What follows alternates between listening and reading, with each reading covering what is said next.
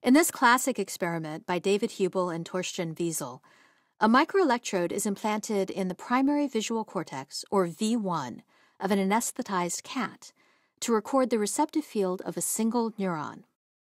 A bar of light is shined on various locations in the cat's visual field. The microelectrode is connected to a speaker so that each action potential is registered as a clicking sound.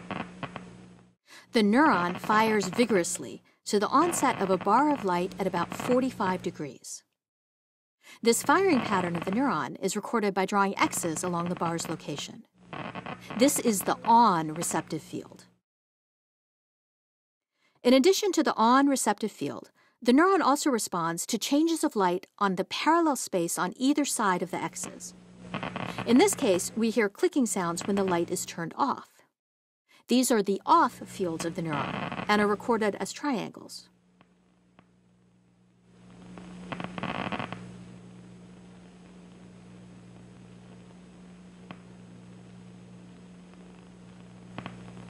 The neuron responds with more activity to the area below the X's, marked with five triangles, than the area above, marked with three triangles.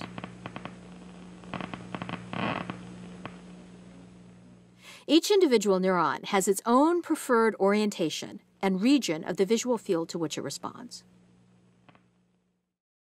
In this cell's receptive field, lines of triangles, referred to as the off-surround regions, flank the X's which are the on center region.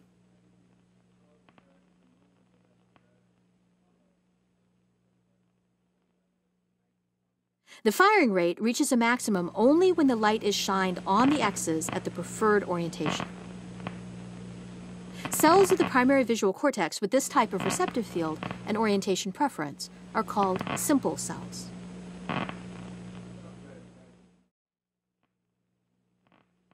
Widening the bar of light causes the firing rate to decrease.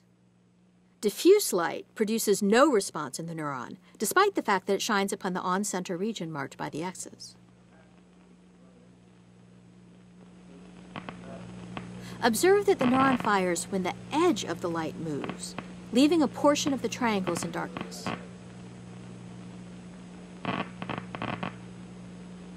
Compare this again to the diffuse light.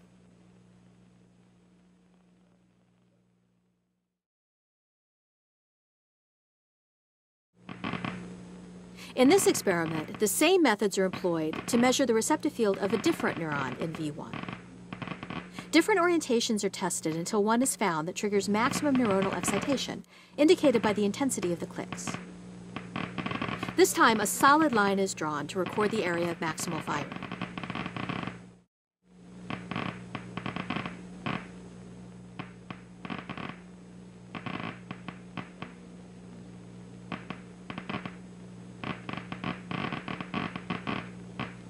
The cell measured in this experiment is called a complex cell. Compared to simple cells, a complex cell has a wider receptive field, and it fires when a bar of light is shined on any part of the receptive field.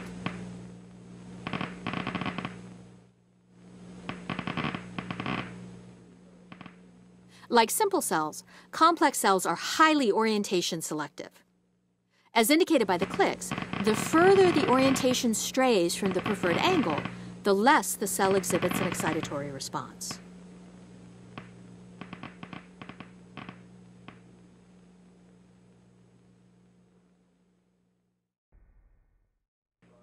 Complex cells respond to either light bars on a dark background or dark bars on a light background.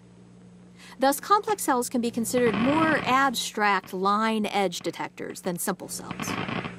They respond to the line edge on or off anywhere in the receptive field, as long as they are in a particular orientation. Hubel and Wiesel proposed that the receptive field of a simple cell can arise from the convergent input of a series of LGN neurons. The circular receptive fields of the LGN neurons, represented by the concentric circles, combine to form the receptive field of the simple cell. The on centers of LGN neurons, represented by smaller circles filled with triangles, combine to form the on center of the simple cell, as indicated by the rectangular dashes. Likewise, the receptive field of a complex cell may depend upon the input of simple cells earlier in the visual processing pathway. Here, the dashes represent the receptive field of the complex cell, which is created by the convergent input of the receptive fields of multiple simple cells that have the same orientation preference. This feed-forward model, where a receptive field of a neuron is shaped primarily by neurons at an earlier visual processing stage, is a logical inference from the experiments just viewed. But the feed-forward model, as compelling as it may be, has yet to be definitively proven through experiments.